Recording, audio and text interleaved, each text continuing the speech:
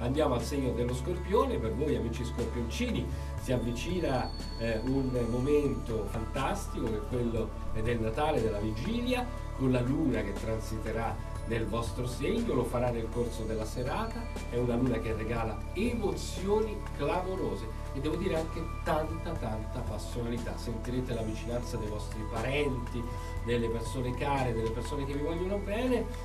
forse se c'è un piccolo neo è il rapporto con il partner che ancora non è perfetto al 100%. Amici, tra poche ore sarò...